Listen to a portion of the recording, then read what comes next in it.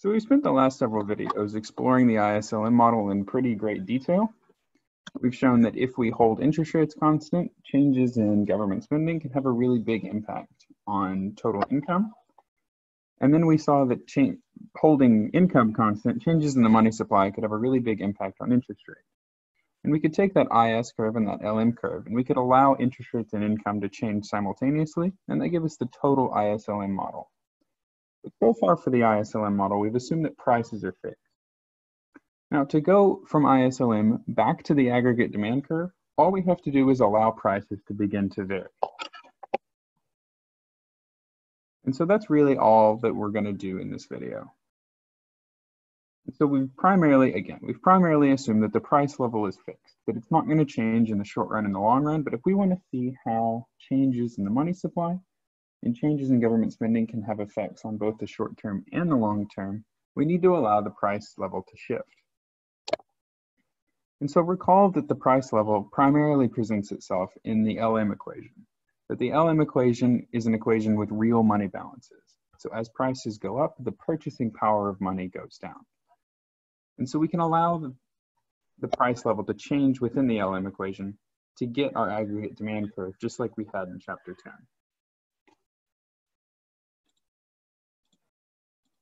And so we can derive the aggregate demand curve by allowing the price level to change, similar to the way we've derived ISLM.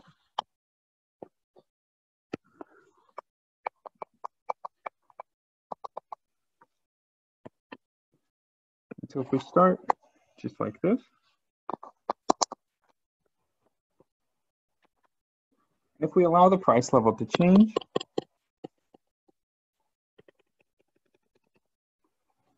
Let's say the price level increases. The price level increasing is going to reduce real money balances.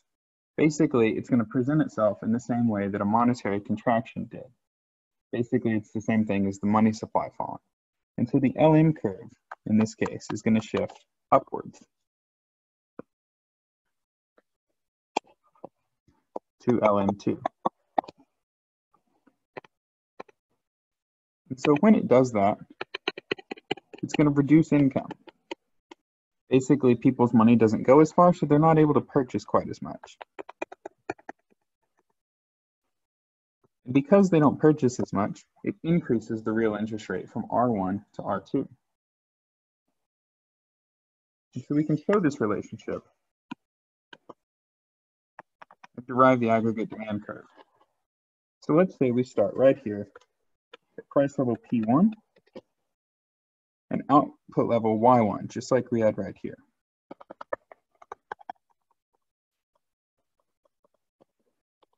So at price level P1 and output level Y1, we're right there, but then we allow the price level to increase from P1 to P2. And we know that in the ISLM model, when we increase the price level, that decreased income from Y1 to Y2.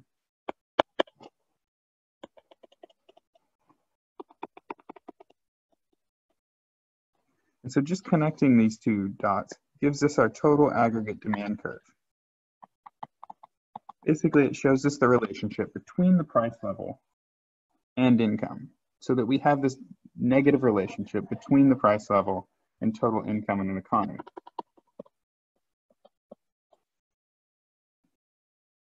And so the higher price level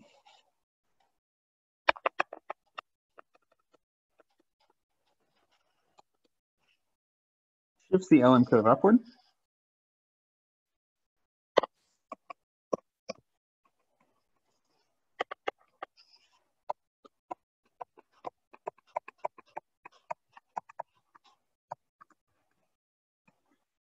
And when it does that, it reduces income. So we shift from Y1 to Y2.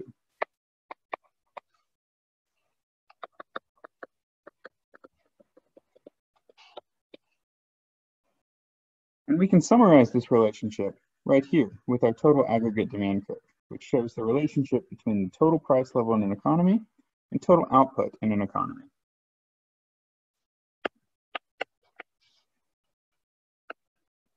So aggregate demand is going to summarize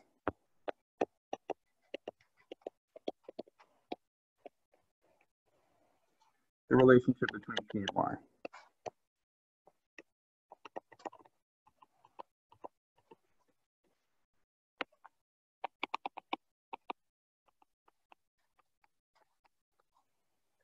so we can see how these different policies, monetary policy and fiscal policy, are going to impact the aggregate demand curve through changes in the ISLM model.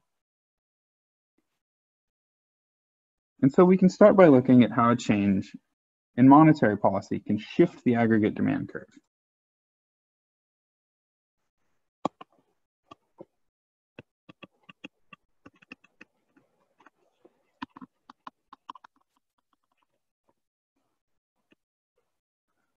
We know, just like the last several videos, that if the Fed were to increase the money supply,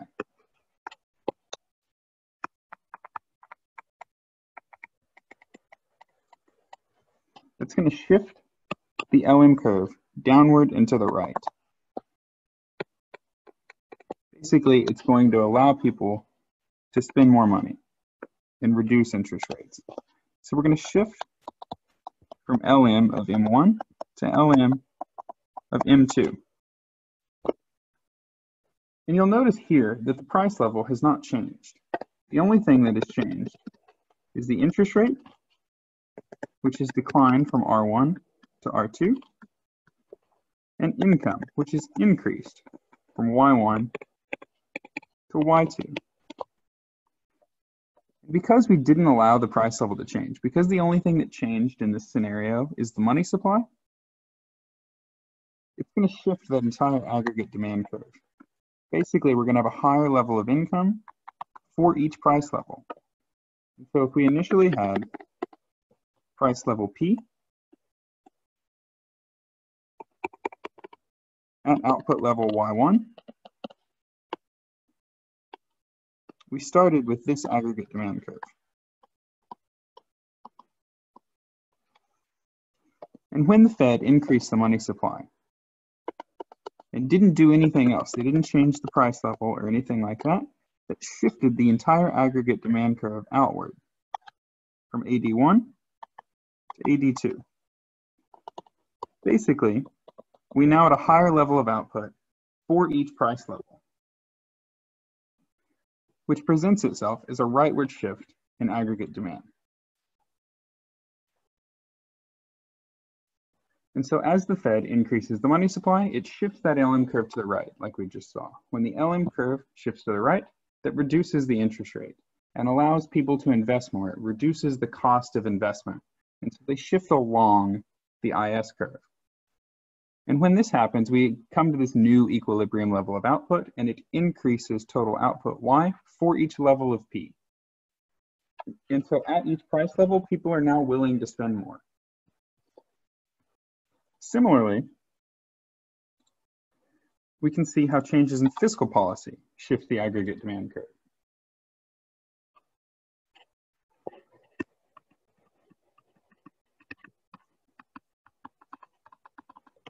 This would be like an increase in government spending or a decrease in taxes.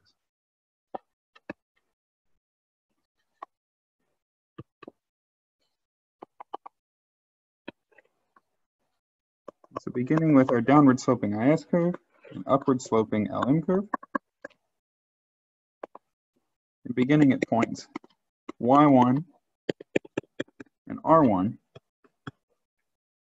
just like in the last few videos, an increase in government spending or a decrease in taxes is going to shift the IS curve to the right. so we're going to go from IS1 to IS2.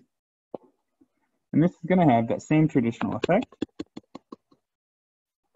where we increase output from Y1 to Y2, and we increase the interest rate from R1 to R2. Basically, the government is occupying more of that loanable funds market. They've decreased national savings, but they're also spending more. So that increases income while also increasing the interest rate. Now you'll notice that we haven't changed the price level in any of this. All we've done is increase government spending or decrease taxes. We've just engaged in fiscal policy. And so we can, that's going to present itself as a shift in the aggregate demand curve.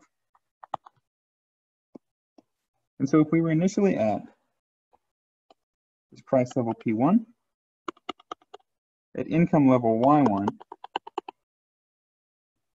we started at this aggregate demand curve. AD1 with that same income level Y1. And when we engaged in this fiscal policy, we shifted the entire aggregate demand curve to the right so that at each price level, we now had higher income.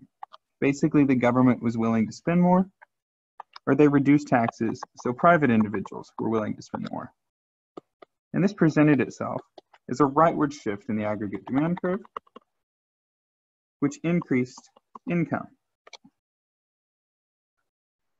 And so just to keep that all straight and simple, when the government engages in expansionary fiscal policy by either increasing government spending or decreasing taxes, in the example of a cut in taxes, that's going to increase total consumption spending. More consumer spending shifts that IS curve to the right.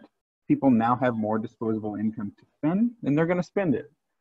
And that's going to increase total spending for each level of prices. Similarly, if the government raises government spending, that's going to increase total spending in the economy. And that's going to have that stimulative effect that we've seen throughout the last couple of chapters, which increases Y, which leads to that increase in consumption. All of this taken together is going to shift the IS curve to the right, and we're going to have a higher level of income for each price level. That aggregate demand curve is going to shift to the right.